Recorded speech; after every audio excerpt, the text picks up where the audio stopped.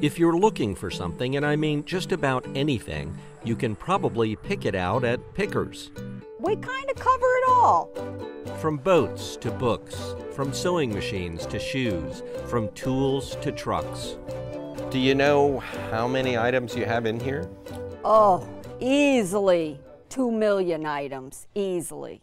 And believe it or not, Pickers is divided up into departments with items organized by category, like books and record albums. Everything's alphabeticalized because I'm that way. It all started with Ron Diamond going to auctions in New York State. And I'd be looking for a truck or a piece of equipment. Well, I get what I needed and I see something else and had a little extra money, so I buy that too. And then he'd sell it. It was always kind of like a second endeavor.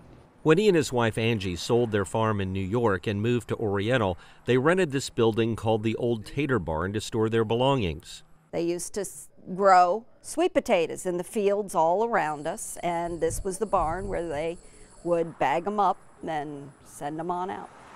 They rented an adjacent building too, but after Hurricane Irene destroyed their house and Ron lost his leg in a truck accident, the Diamonds fell on some hard times. We opened the doors and uh, started selling our belongings. Then someone asked the Diamonds if they'd be interested in buying things. It started with the family of a man who passed away that wanted to sell his belongings. So we'd buy the lawn equipment, the furniture, the artwork, the boat, the lawn tractor, the car, the truck, everything. And then, of course, put it up for sale. The Diamonds bought the two buildings they were renting, and that's how Pickers came to be.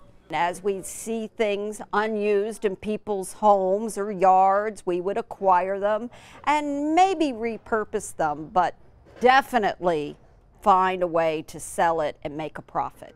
I like to bring in odd stuff. When I see something odd, I'll buy it. Almost I don't care what it costs, I'll buy it. Because if it sits here long enough, someone else will buy it and I will make some money on it. I pride myself at being very diverse. the more I can get of the unusual, the better. And there's a brass elephant made from parts of old musical instruments. That's the only one in the world. There are these terracotta warriors discovered in a quarry in China in 1978. Angie says they'd be great for a front porch.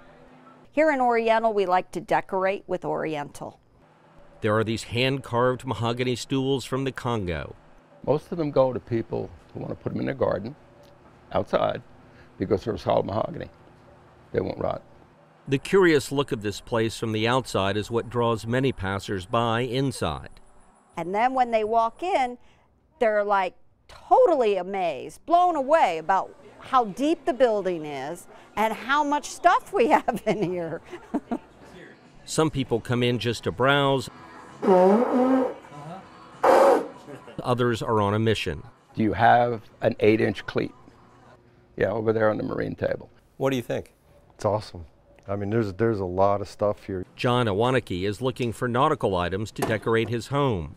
This is the kind of place I'd like to come to multiple times because you can't see it all. You can stand in one spot and just look around, and you can stay there for an hour, and your eyes get something new every time they move around. A new look at something old or something odd.